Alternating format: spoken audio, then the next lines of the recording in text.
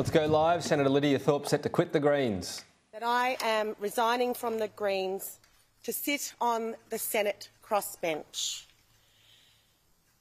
This country has a strong grassroots black sovereign movement full of staunch and committed warriors. And I want to represent that movement fully in this parliament. It has become clear to me that I can't do that from within the Greens.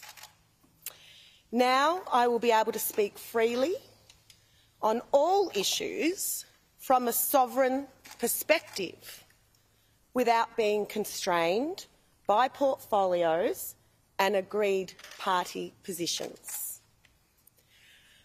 Greens MPs, members and supporters have told me they want to support the voice. This is at odds with the community of activists who are saying treaty before voice.